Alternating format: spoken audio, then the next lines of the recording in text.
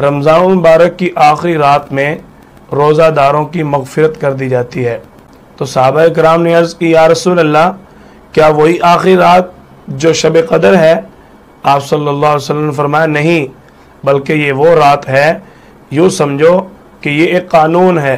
जब मज़दूर मज़दूरी कर लेता है तो उसको, उसकी उजरत मिल जाती है।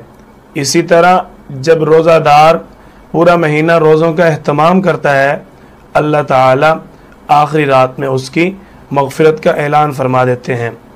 एक और हदीस मुबारक जिसमें आप सल्लल्लाहु अलैहि वसल्लम ने फरमाया कि जो शख्स बग़ैर किसी शरी उज़र के रोज़ा छोड़ दे और उस रोज़ा के बदल में पूरे साल के रोज़े रखे, तब भी वो उस एक रोज़ा का बदल नहीं दे सकता।